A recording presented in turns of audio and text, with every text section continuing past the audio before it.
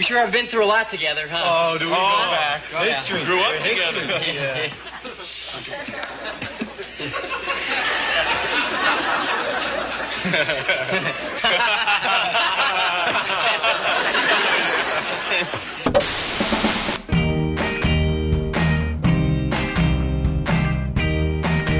Well, I, I left, um, it was at the end of my seventh season.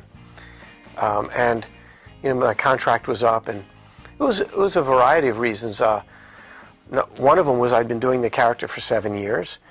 I was concerned that um, I was getting so associated with that role that uh, it was going to be more and more difficult for me to break away.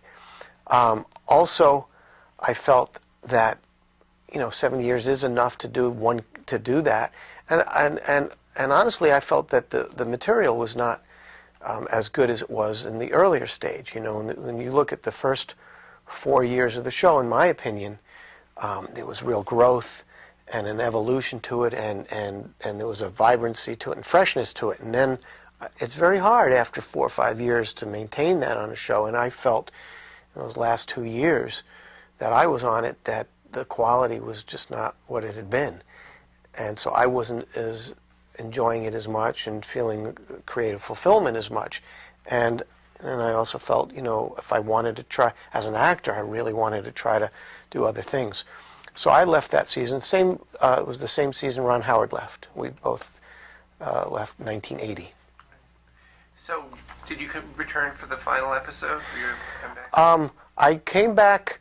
There was an episode um, earlier um, about uh, the next to last season. I came back for a two-part episode with Ron Howard when we came back from the army, and there was a.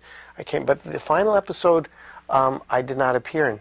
Uh, but that was not out of my.